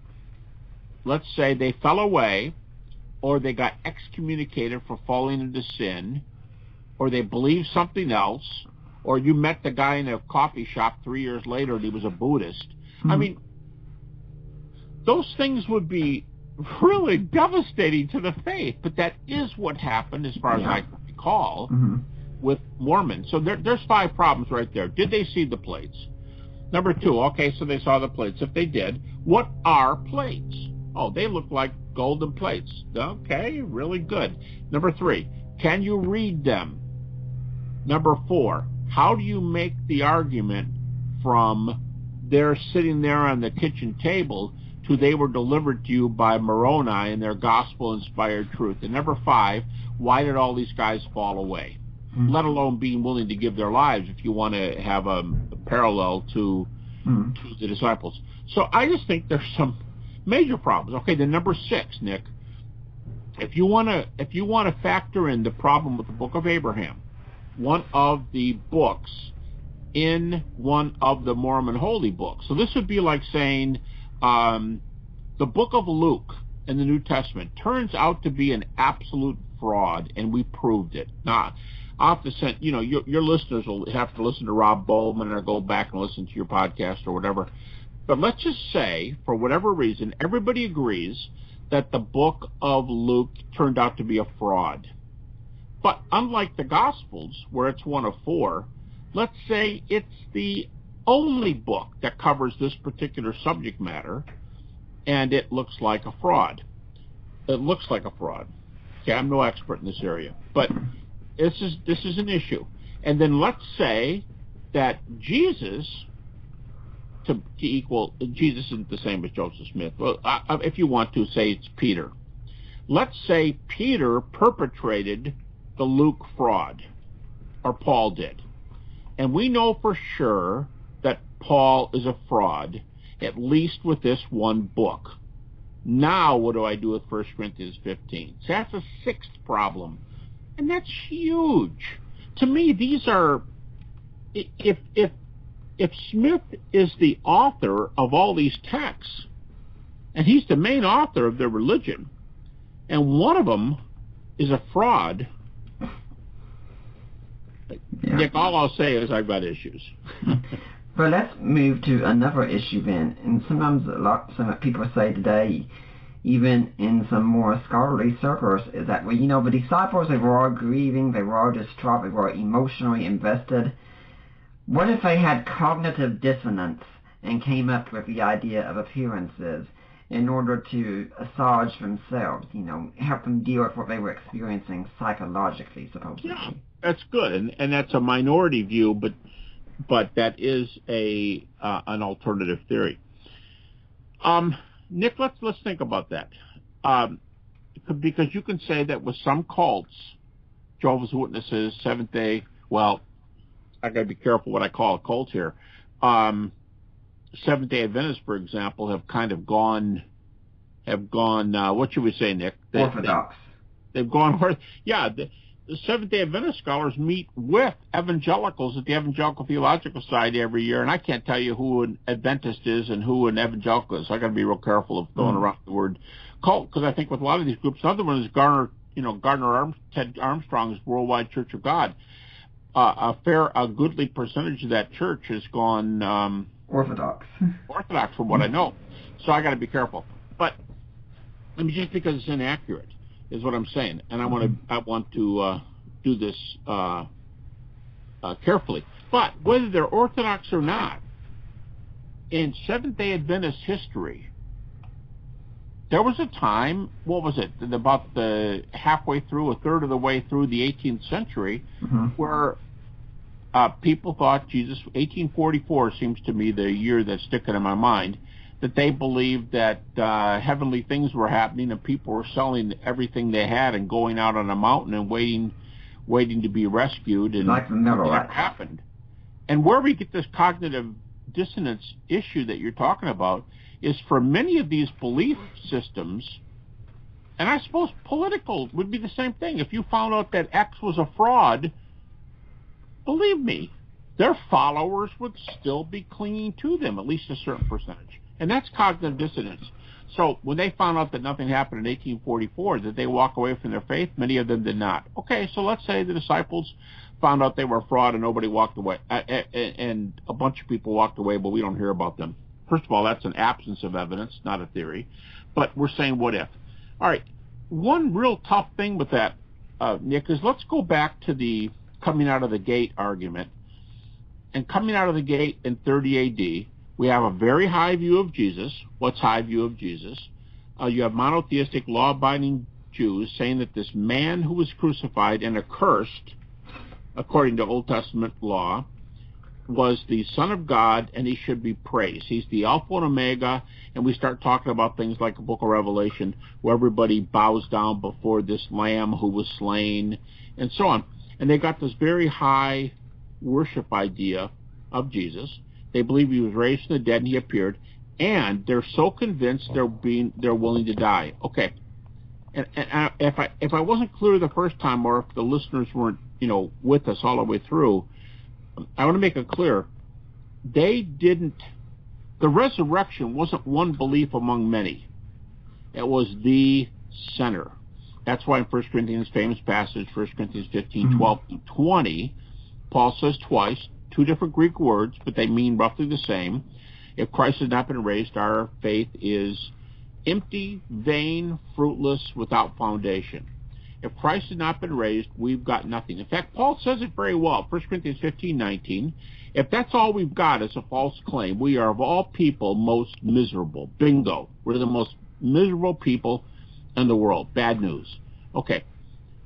To die for the specific belief of resurrection means that I'm, whatever else I'm sure of, I'm sure that I saw the risen Jesus. Yeah, but what's your view on Calvinism and uh, free will? Uh, yeah, you go figure that one out, but I'm sure I saw the risen Jesus. Okay, do you believe in something called the rapture? Um, well, I can tell you my views, but I'm not dying for that. I'm dying for my belief that I saw the risen Jesus. Am I just making this up? No, it's part of what we call the gospel. It's the center. Everyone dies. The, God, the, the fact that Jesus died is very, very special. He died for our sins. But there's nothing supernatural there, an actual event. Um, it's the resurrection. And if I die for my belief that I saw the risen Jesus, then that's you have to at least concede that I'm most sure of that. And the cognitive dissonance view, to me, let's take the Jehovah's Witness view that Jesus was returning, I think, in 1916, and he never comes. So they change it from, well, he came, but it was a spiritual event, and we didn't see it, even though the New Testament says, you know, every eye will see in lightning as lightning is from the east to the west. You have to change your views. But but if that's not my key view, all right, so it was a spiritual view. All right, I, I believe you, so I'll kind of go along with that. But if resurrection is my central view, and I'm willing to die, and then everybody who believes that and saw Jesus is, as far as we know, is willing to die for that belief. Uh, it's kind of it's kind of hard to to argue that that was a tack on something we added to the faith, something I could stomach because it wasn't the center of my faith. Resurrection says the center of my faith, and I don't know how Christianity becomes the um, leading religion in terms of numbers in the world if there's people going around saying, well, yeah, the resurrection didn't really happen, but that's not my central belief. Um, so I think cognitive dissonance on a number of scores. Here's another one. Cognitive dissonance does not empty a tomb. Mm-hmm. So you have to come up with another theory. Well, I thought you said the empty tomb wasn't. That's true. The empty tomb does not prove a resurrection. But if the data indicate an empty tomb, you have to explain why the tomb was empty. So there there are other things here that have to be described. How about James and Paul? Two unbelievers, two distinctly different cases. Mm-hmm. James, the brother of Jesus, and Paul, they both come to Jesus they weren't members of the group who thought Jesus was coming in 1916 or that in 1844 the temple was being cleansed and, and heaven and so on. They weren't members of that group. So how does James get involved and how does Paul get involved? These, these are all issues that people have to solve. And I, I don't think it answers the data. I'm talking about cognitive dissonance. Well, let's talk about Paul a little bit then as we get close to our conclusion here. I mean, Paul says he saw Jesus. Yeah, but a lot of people claim to see things all the time. I mean, we have people who make claims about seeing heaven and any number of things that they claim to see. And most of us look and say, that's crazy. But Paul, we say Paul saw something and say, oh, well, this is serious. I mean, why should we take Paul seriously. And if you say where he was and he was a persecutor, where Gerd Ludemann says maybe he was just dealing with guilt, and then all of a sudden he he switched his mind because he couldn't take the guilt anymore. M- maybe he was what, Nick? Dealing with guilt, and that led him to uh. have a snap say, okay, maybe maybe I really should look at this differently. Okay. Well, let, let's let's deal with the guilt thing first. That is a very common supposition among critics, and they say, if I were going around killing people, and then I saw some of these poor people and their little children cowering, and I was going to throw them in jail forever and throw away the key, I might have remorse and, okay. What's missing in this theory is evidence. What's missing is that Paul has remorse. Well, it could have happened. Okay, I'll grant it could have happened. But what are your data. All right. Now, we haven't said this yet, but of the 13 books that bear Paul's name in the New Testament, critics are willing to concede seven of them. Seven of these critics, they seven of these books they believe are authentic. What does authentic mean? Not inspired, but authentic means Paul's a scholar. He studied under major people. He was the choice of his elders to go after Christians, so he had to be I, I mean, I think of Paul as kind of a scholar athlete. He had to just not have it in the head, but he had to have it physically to go drag these people around and make sure these things happen to him. He's a pretty commanding person. Studied with the right people was nobody would argue that Paul wasn't convinced of his old job, that he wasn't doing the right thing, wasn't doing God a favor. He believed he was. So we have all this stuff and pointing to Paul's sincerity and then all of a sudden, Paul changes. Now, what about the books that bear Paul's name? Seven books that critics allow. Several, there are testimonies in those books. For example, uh, in Galatians and in Philippians, where Paul talks about who he was before he came to Christ. He was I'm a persecutor. I was a Pharisee. Okay, he's a scholar, and he's in the right place, right time. He's the guy who's designated to do this you know, he'd be the quarterback on the football team, so to speak. He's the top guy for this job, and now he says in these books, I was zealous, he says. He says, I was way beyond the age of my peers. I was far more advanced. Uh, you forgot something, Paul. Don't forget, you are suffering from grief. Yeah, I was far beyond my peers. I was going with gusto. I was doing God a favor. Uh, Paul, don't forget the grief. Uh, what grief? The grief that you have. Yeah, I was way beyond my peers, and I was. There's no hint in Paul. You know, he could make this godly grief. He could say, and God convicted me, and God said, You've been killing my people, and immediately I felt horrible. He could work in the grief thing very nicely into a testimony. Sounds like a good testimony. Never does. Why not?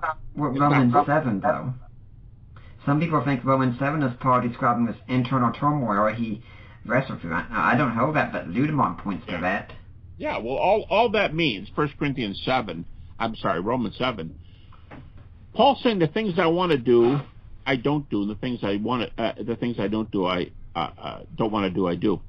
Um, the, the issue there is uh, Paul was okay. Was Paul consistent? Not always. Is Paul a sinner? No. Did Paul believe he was a sinner? Yes. Uh, was Paul perfect? No. It, it just Paul's just saying that he was inconsistent. Where does grief come in Romans seven, Nick? It doesn't. It doesn't. You're right. And it's not consistent with anything else Paul claims. But like I said, it'd be very, very nice because Paul could have worked this thing up into a really nice testimony. The God of the universe appeared to me, just convicted me like crazy, and I fell at his feet and said, I've been a bum. It would work in very nicely. but Paul doesn't say anything about grief. So here's another point, Nick. Who's got the facts on their side? Who's got data mm-hmm. and who's got what if? Yeah. It just is not according to the evidence. And let's just add, Paul's teaching, if anybody's centered on the resurrection, it's Paul. Paul never falls away, never recants, never gets kicked out of the church, never turns back to persecuting, never has this, you know, if he's psychotic or something, it goes back and forth. We should see some evidence of that. But Paul never, he's steady. Mm. And he's the best witness. And you know what, though, to me, Nick, the best thing Paul gives, what Paul contributes, is the, the number one thing Paul contributes is not how, you know, how sure he was of this or that. The number one thing Paul contributes, in my opinion, I think Bart Ehrman's too, from what he says, is that Paul knew the other eyewitnesses. And in Galatians chapter 1 and in the beginning of Galatians 2, totally allowed by critics, Paul goes to Jerusalem on two different occasions to make sure that the original disciples, I think he calls them super apostles, um, these these pillars, another name for them, these pillars, he goes to make sure that their testimony is the same as his. And he found out that they were preaching the same message, and he reports that in 1 Corinthians 15:11, right after the creed. So they're all on the same page. I think the most important thing Paul's got going for him is that he knew these guys, and he passes on their testimony. Bart Ehrman says, he says, Paul spent 15 days with Peter and James, the brother of Jesus. That's, that's Galatians 1. He says, Paul spent 15 days with them. And then he, then Bart Ehrman says, I'd like to spend 15 days with Paul, with uh, James and Peter. And then Bart asks this question. It's a stunning question from the best known skeptic in America. Bart Ehrman says, where do we have closer to eyewitness testimony than right here. That's the best, that's the closest we have to eyewitness testimony. So to me, Paul's benefit is passing on these guys' testimonies, even for those who don't concede that that the apostles wrote the four gospels. Which, by the way, evangelicals don't believe apostles wrote all four gospels anyway. But but uh, he says Paul's Paul's best um, contribution is knowing these guys and passing their testimony on. Yeah, but you know, we people see things all the time and a lot of them we discount. And Paul himself says he was not disobedient to be heavenly vision. I mean, it's not an appearance of it, it's a vision that he had. Yeah. Well, it is a vision. I mean, you saw it with your eyes. Vision, you you have when you go to the doctor's office, you have your vision checked out. Mm-hmm. You don't go to see hallucinations. You have your vision checked out. The word horao, the word from which we get, it's the, it's the most common text there, 1 Corinthians 15, where Paul's um, describing Jesus' appearances. And it's often said that horao has a visionary aspect to it. Well, all anybody has to do is is go to the word studies, these these really involved texts that tell you all the uses of the word New Testament, or for you, the English listeners, they can get a copy of the what's called the Englishman's Greek Concordance. It's it's in English, although it goes right to the Greek words, and you can look the word up. And guess what? Horao, the word Paul chooses in 1 Corinthians 15, two things about it. Number one, it is used of physical sight. I went to have my vision checked it's used of physical sight more than it is used of of anything else. In fact, you know, sometimes the word's not even about sight. It's like this. The word means, oh, I understand what you're saying. And they use horao for I understand. But when it appears to see, when it applies to seeing something, it applies to physical sight way more than than spiritual mm-hmm. sight. And secondly, this word horao is the same word Luke uses in the book of Luke for the most physical appearances of all. Because it's in Luke, I like picking James here again, it's in Luke where he says they were terrified and affrighted, suppose they'd seen a spirit. We mentioned that earlier.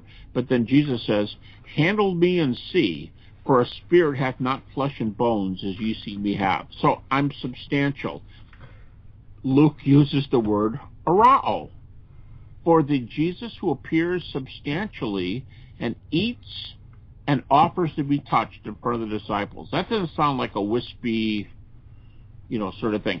Uh, Gerd Ludemann, the guy you're mentioning, uh, who's often called an atheistic New Testament scholar, I don't know if he's an atheist, but I've certainly heard that a lot. He even says, as do many others, uh, Dom Cross and Bart Ehrman, they say that even though they don't believe in a resurrection, the New Testament writers do. That the New Testament writers' uh, language is the language of sight, not the language of, oh, I understand. It's not the language of, oh, I see. Um, it's the language of sight. Nick, I saw you buying a loaf of bread at the supermarket last night. Um, it's that kind of sight. They even believe that the New Testament teaching is sight, actual physical sight language, not wispy, ghosty language. Okay, now, you're not, not going to have my wrap this all up. You know, this kind of thing. You got the skeptic here. He's heard all this day. He's been listening to the show, and he said, you know what? You got a lot of data, but here's still my main problem. Your explanation involves a miracle, and I Yep. just do not believe a miracle can happen. Yep. That's excellent. Uh, You know what, Nick? Tell you the truth, I was sitting there thinking, boy, I sure hope he gets to that because that is the number one objection. Mhm. Not that your evidence is lousy, but that your evidence doesn't fit my glasses. Your evidence does not fit the worldview I believe in. Now, there's a number of of things I would say to that. Um, on on a certain level, I would say, okay, I'll answer that. But before we move on, you do admit there's something here, right? I mean, you're saying, yeah, you've got good evidence, but for what? I don't believe in the supernatural. Okay, so you're allowing good evidence. Okay, that's number one. Second, I, I do not know that the Shroud of Turin is a garment of Jesus. I've co-authored two books, and my co-author was one of the guys. He was the editor and spokesman for the team of scientists that did the 1970s. Uh, oh, a lot of people did checking, but he was one of the original people. Um, and so I got to uh, learn a lot about this that I would not have already learned. And if the shroud is a burial garment of Jesus, I'll just say it's intriguing and it's decent evidence. And more more man woman hours have gone in studying the shroud than any other archaeological uh, artifact in history. It can't. Not only has it not been disproven, it can't even be duplicated, from what we know. But why is this different? Why am I bringing this up?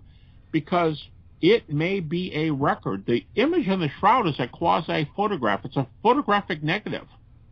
And it could be a photograph of the resurrection. That's what some people have said. So if you go, well, I don't believe in the supernatural, you know, it would help me if God would just appear right here before me. Hey, just think about it. Maybe the shroud is the resurrection of Jesus. I'm just saying that you I'm could going to have. jump in there right quick at this point and say if someone wants some more on the Shroud, I think February 13th this year, my interview with Mark Antonacci on his book.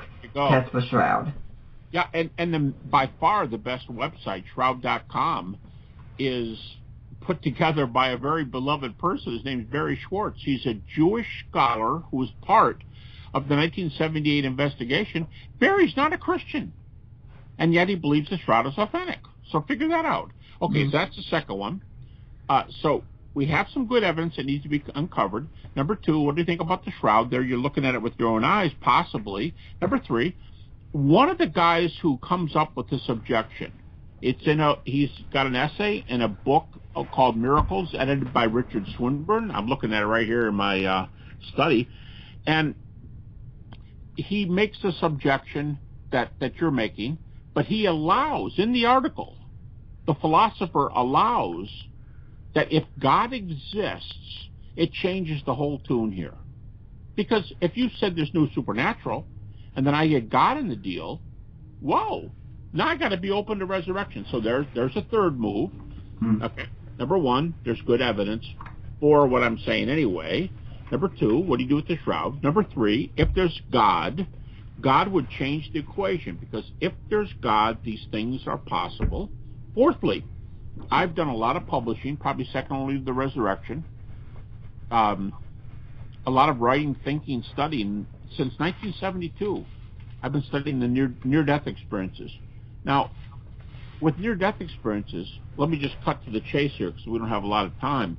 Um, I'm not talking about oh beautiful tunnels and lights and I felt wonderful and man I wasn't afraid to die anymore. That's not that's not what I'm talking about. I'm talking about evidential cases. Now I'm gonna have to leave that to. Have you done a program on that already, Nick? I haven't got to do that yet, although I did do some a little bit with J. Steve Miller on near-death experiences. I don't Okay. remember we, we got into evidential ones too much. Okay, well, there's some evidential ones where while the person has no measurable brain or heart activity, they say they're up above their body and they're not in any position. Let, let's say they're in a room with no windows, and they re- like inside a hospital, and they report something that happens outside. Um, and then later you get a report where that indeed happened, but their brain shouldn't have been operating Mm. over a hundred of these evidential cases have been published. And uh, now this is not official, this is not scholarly, but apparently this has a lot of influence on Americans and around the world, people who now believe in the afterlife.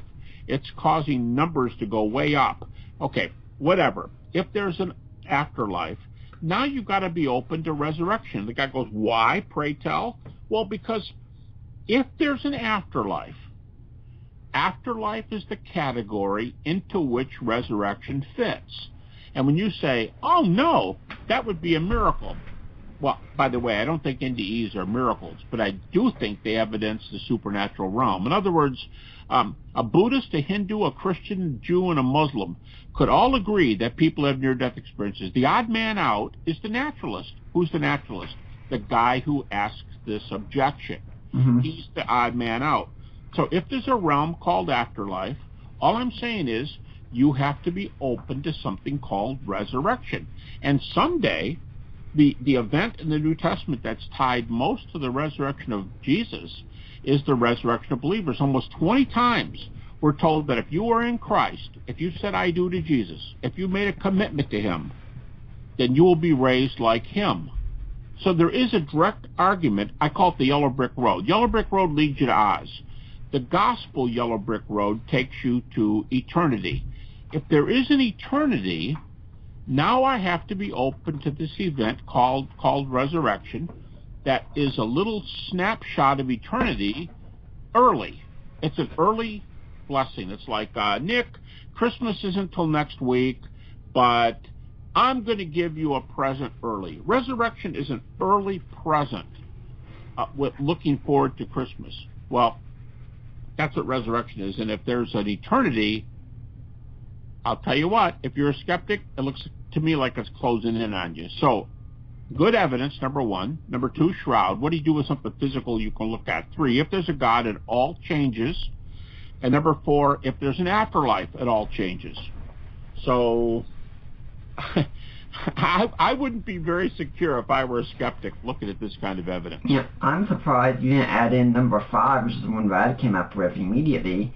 Craig Keener's research Oh, on I- miracles going on today. Yeah, I agree with you, Nick. I have a, a, a PowerPoint that I give on how do we know naturalism is crumbling the, today. The worldview, the glasses that people, that skeptics say they don't have, the glasses that tell them the supernatural doesn't occur. I list 10 arguments. So if you want the rest of them, I mean, we can talk about intelligent design, we can talk about fine tuning, we can talk about near-death experiences. Now, on all those, the religions stand shoulder to shoulder and go, yep, you're right. But what about the ones that say Christianity's correct? I do six of them. I do uh, Craig Keener's miracles argument, the fact that Jesus predicted his resurrection ahead of time. That's major. People don't understand. If, if critics are willing to admit this, Michael Licona, in my opinion, has written the best article, which later has worked its way into his dissertation, on an argument for critical argument, done the way critics argue, for the predictions. The key, the predictions are huge. Because if Jesus predicted his resurrection ahead of time and then was raised, that means that this is not just an odd event.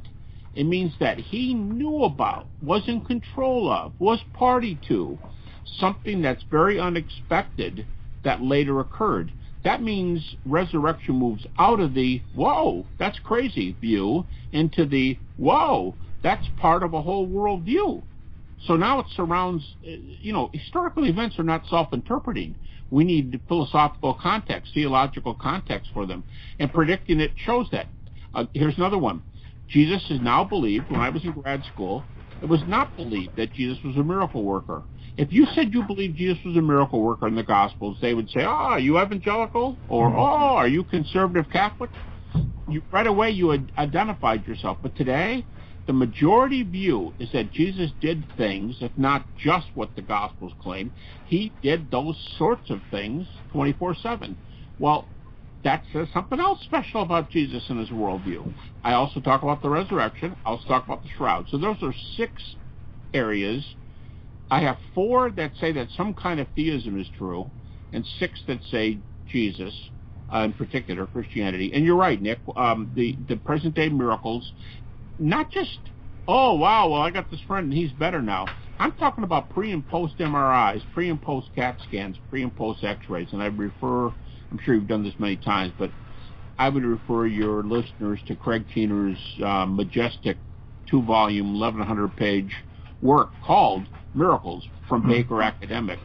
And I, and I would also refer them to the interview I did with him back on August 10th of 2013 on that subject. And Dr. Habermas, we've come to the end of our show here, unfortunately, and there's so much more we could talk about. But um, if yep. people want to find out more about you and what you've done, do you have a blog or a website, an email where they can get in touch with you? Yeah, Nick, thanks for asking. I, I have a website. It's simply GaryHabermas.com. No bells, whistles, uppercase. It's not case sensitive. G-A-R-Y-H-A-B-E-R-M-A-S dot com.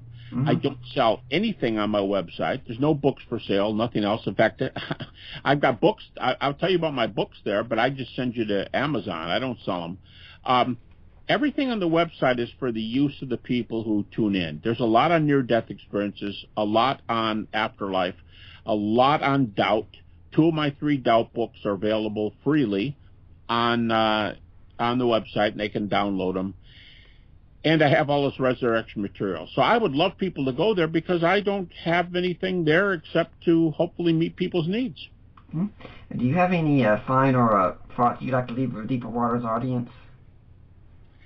Well, Nick, you know, you said there's so much more we could do. Um, I would talk about the importance of the resurrection. Now, right here at the end, we started getting into it, but um, like I said, resurrection is not self-interpreting. It has to be interpreted according to a system. Uh, otherwise, you're scratching your head and saying, you know, what about the butler? Um, if the resurrection is the center of Christianity, and if Jesus was raised, and there's another half dozen evidences at least that indicate Christianity's true, specifically, that a bunch of others that just say religion in general is.